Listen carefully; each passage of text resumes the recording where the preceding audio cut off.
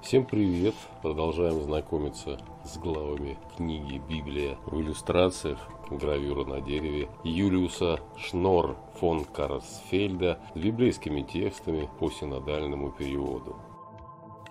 Соломонова решение.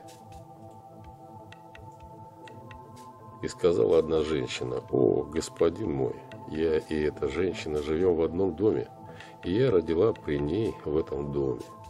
На третий день после того, как я родила, родила и эта женщина, и были мы вместе. И в доме никого постороннего с нами не было, только мы две были в доме. И умер сын этой женщины ночью, ибо она заспала его. И встала она ночью и взяла сына моего от меня, когда я, раба твоя, спала, и положила его к своей груди, а своего мертвого сына положила к моей груди. Утром я встала, чтобы покормить сына моего, и вот, он был мертвый.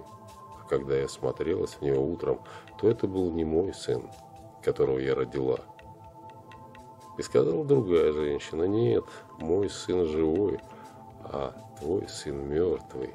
А та говорила ей, нет, твой сын мертвый, а мой живой. И говорили они так пред царем. И сказал царь, это говорит, мой сын живой, а твой сын мертвый. А та говорит, нет, твой сын мертвый, а мой сын живой. И сказал царь, подайте мне меч. И принесли меч к царю.